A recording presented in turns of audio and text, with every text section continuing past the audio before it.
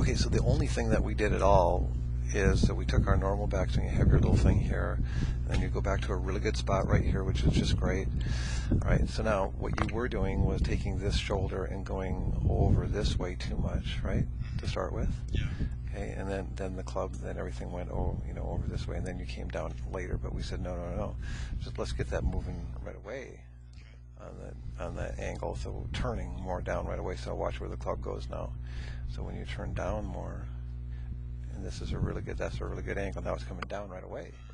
And this, and this arm, this arm is going down right away, not going across.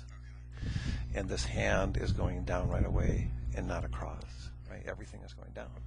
And so now watch where the club goes. Now it's going to go down through the shoulder line. And now it's going to go below the shoulder line, right through the middle of your back. And then ultimately, this is real important, it goes right through this forearm and right down to the ball. So watch how this club's going to travel right through your down your forearm line, and then it goes right down to the ball from there, which is just perfect.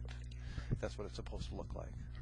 So I get rid of all these little lines at the moment. Let's just back up and watch how that looks. So here, and then watch how it's going to go through your mid back, right? Because you're turning that way, and now it's going to go right down through that this this forearm because that's moving in the right direction also. Okay. It's not moving. This isn't moving out that way. It's just moving down, and the club is following it right down the line, exactly where it should go. That's what it's supposed to look like. If you com- if you compare it to a model, the model like a Tour Pro.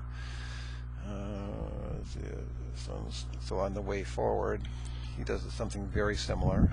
So watch where it goes. So he see how it's turning down, down, and then watch how it's following down and goes right through that forearm, right, and then to the ball.